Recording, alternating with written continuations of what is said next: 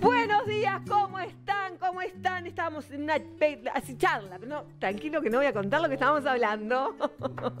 tranquilos, tranquilos. Bueno, el que, el que más le va como es el señor productor. No, me hace así, no. Como dice Catalina, no, Ale, no a la tía, a la abuela.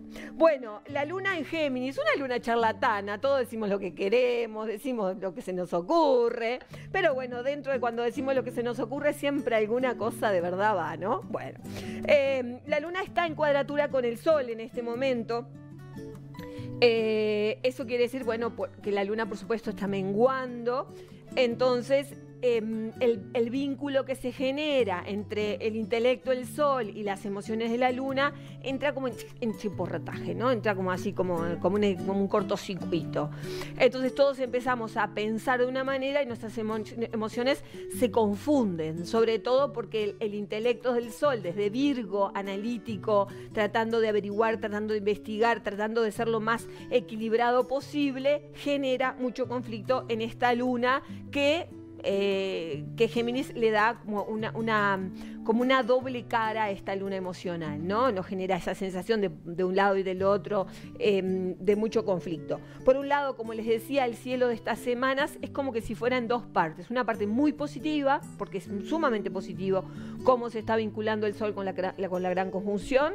También es muy positivo cómo se, se está vinculando Venus con Quirón, o sea, genera como recuerdos gratos, pero después por detrás sigue el conflicto, ¿no? Sigue ese cielo intenso, un, cielo que todo lo cuestiona, que todo lo pone sobre la mesa, que todos estamos tratando, bueno, de, como de sacar para sanar. Y es parte de lo que teníamos que hacer en este 2020.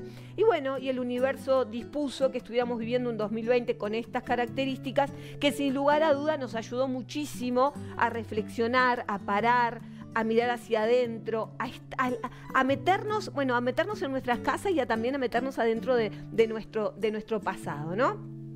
Después veremos cómo salimos este, emocionalmente de, este 2020, pero eso ya será para el 2021 o el 2022, porque las condiciones así van a estar, así van a estar dadas. Te cuento que, bueno, si vos querés saber qué pasa con una luna, qué pasa con la otra, para qué sirve un color, para qué sirve el otro, todo está en magia. Magia es el nuevo libro. Y bueno, eh, está en todas las librerías, como te digo siempre, pero tal vez lo querés dedicado, lo querés autografiado, lo pedís al 094 027 992 te llega a donde estés, porque en donde estés te lo enviamos. Em, bueno, empezamos con Aries entonces. Mira, estamos a los 20 grados prácticamente del signo de Géminis. Entonces le falta de los, de los tres tercios, que son 30 grados que tiene cada signo, en este, en este cielo em, ideal que muestra el mapa y la carta natal, le da a 30 grados a cada signo. Bueno, ya, ya pasaron dos partes de, ese, de esas tres partes en 30 grados. Entonces, bueno, eh, tenemos todavía bastante por vivir con esta luna en Géminis, que es una luna, por supuesto, charlatana, una luna dinámica, una luna de, de movernos, ¿no? Y para vos, Aries, te hace eso, te hace vender, te hace hablar, te hace cuestionar.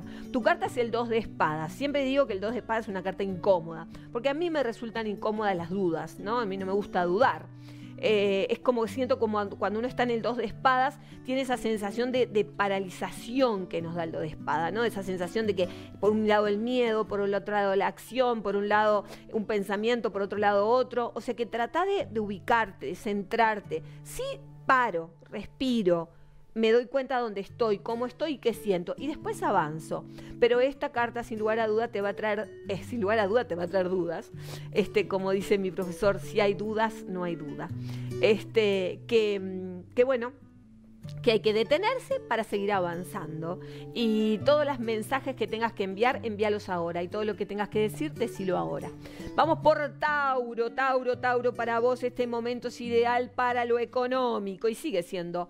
Y una carta emocional en lo económico medio como que no va, ¿viste? La decepción no va con la economía. La decepción va con lo emocional. De repente cinco de copas, que es la carta de la decepción, que es la carta de la angustia, que no me siento bien, que hay cosas que, me parece que las perdí, no tienen mucho que ver con la economía.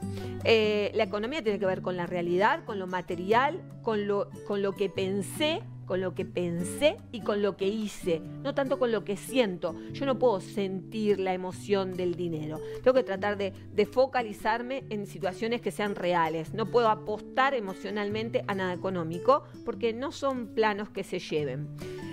Entonces, bueno, las decepciones deben tener que ver con eh, de repente el no, el no el sentir que no has logrado tus objetivos, puede tener más que ver con tu, con tu propio sentir y no tanto el sentir que tengas para con el dinero.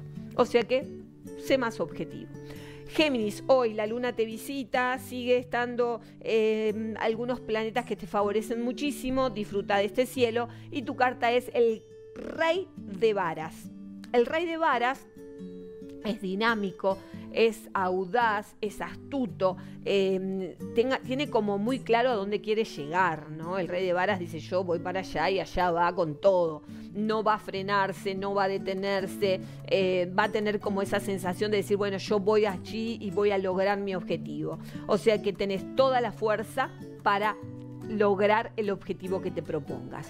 Vamos por cáncer. Cáncer, como te decía al principio, te decía, no, decía al principio, faltan aún 10 grados de esta luna en Géminis, que son 10 grados todavía que te generan a vos, a vos un poco de, de angustia. Aprovecha estos momentos para reflexionar, llevar a papel tus, tus pensamientos, llevar a papel las emociones. Esto es triste. ¿Qué parte del cuerpo te duele? ¿Dónde tenés la tristeza? Analizarte un poco, ¿no? O sea, sentarte, respirar, decir, bueno, ¿qué, ¿qué, estoy sintiendo? Todo, eh, es eso. Esta luna te invita a, un viaje de introspección para analizarte. Tu carta es el 3 de oros, este es el trabajo tiene que ver con el trabajo, con todo lo que tengo que mostrar a los demás, con todo lo que tengo que realmente, con todo lo que tengo para dar. Tenés muchísimo para dar. Entonces, bueno, contacta con eso, con el dar algo productivo y algo bueno a los demás.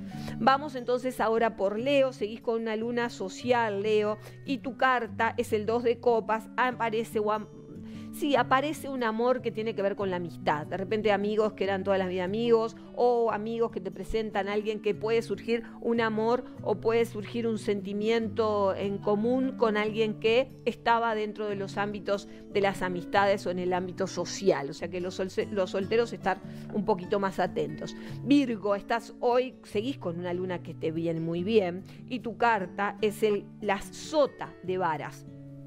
La sota de varas es un emprender, ¿no? Es el emprender, es una puerta que se abre, es una oportunidad.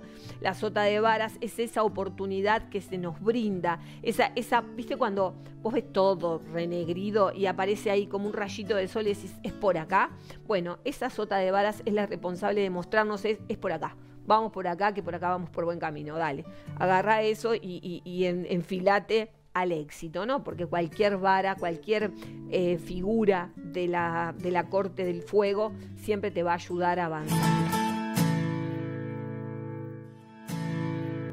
Vamos por Libra, hoy avances en lo profesional, tu vida profesional sigue creciendo y tu carta es la sota de copas. Alguien se anima a hablarte de sentimientos o sos tú que se anima a, hablarte a hablar de sentimientos. O también podés llegar a animarte a decir verdaderamente lo que sentís.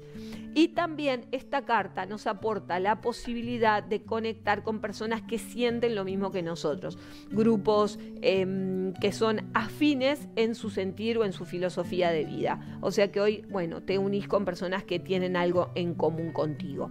Escorpio, seguís transformándote, seguís reciclándote y recordá que esta luna es muy buena para eh, las sorpresas económicas. Tu carta es la fuerza y la fuerza puedes leerla este, la carta del control podés leerla en el libro de los 22 escalones y la fuerza te invita sobre todo a reflexionar y te invita a...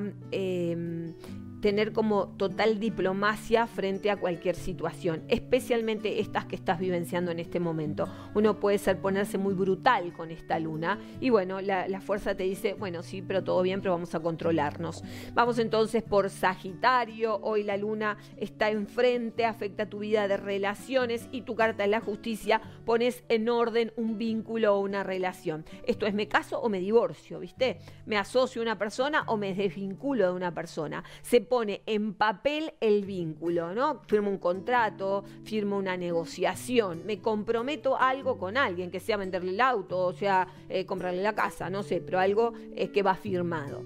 Vamos por Capricornio, seguís cansado Capricornio, espera un poquito más que ya vamos a estar bien. Y este rey de oros es maravilloso, es el fruto del esfuerzo. El rey de oros es económicamente estable, emocionalmente estable, es el, mejor, el más fuerte de todos los reyes y dice que estás teniendo todo lo que necesitabas. O sea que es una carta sumamente positiva, pero vos igual seguís cansado, porque tengas esto no te creas que vas a sentirte eh, descansado. Muy cansado, pero con frutos a, la vista. Vamos por Acuario, este es el gran momento del romance y el 7 de copas te dice que seas muy habilidoso con, de 7 espadas, perdón, 7 de espadas, que seas muy habilidoso en el contacto con eh, los otros, que seas muy estratégico con lo que decís, porque podés meter la pata. O sea que cuando quieras decir algo, decí lo correcto. Vamos, por Pisces, la casa y la familia están ahí para que vos los cuides. Y el As de Oros dice, la casa está, la familia está, es un sí a cualquier situación que se te presente. El tarot dice sí a la pregunta que le tenías para hacer.